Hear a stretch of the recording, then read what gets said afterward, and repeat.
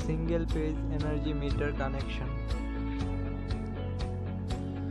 আমাদের প্রথমত যেতে হবে গভর্নমেন্ট লাইন কারেন্ট টাওয়ারে তারপর যেতে হবে মিটারে মিটার থেকে চলে যাবে ডাইরেক্টলি এম সিবি তাহলে প্রথমত গভর্নমেন্ট লাইন থেকে ডাইরেক্টলি চলে যাবে পেজ মিটারের মধ্যে। তারপর নিউট্রাল সেম টু মিটারের মধ্যে চলে যাবে।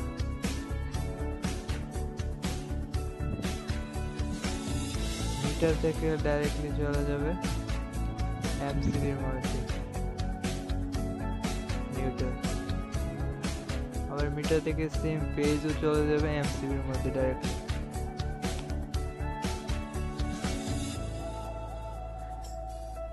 এখন আমরা দেখব জাস্টিফিকেশন বোর্ড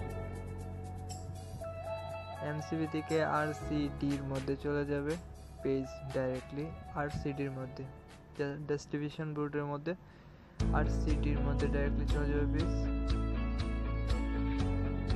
সেম টু নিউট্রালও চলে যাবে আর সিডির মধ্যে। এখন আর সিডি থেকে পেজ প্রত্যেকটি সিঙ্গেল ব্রেকারে চলে যাবে।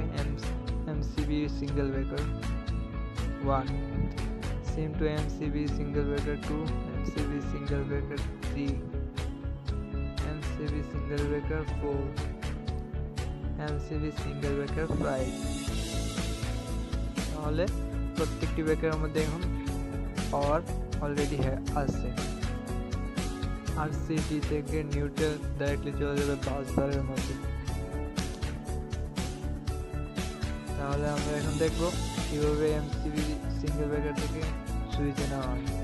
এক ব্রেকার থেকে ডাইরেক্টলি সুইচে চলে গেছে। এখন সুইচ থেকে আউট করে একটি লাইট লাইটে নেওয়া যাওয়া নেওয়া হবে।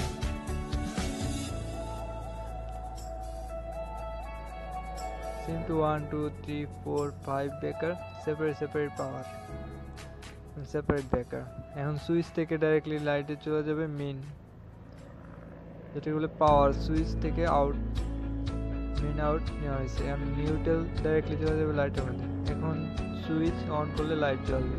হ্যাঁ অলরেডি জ্বলছে।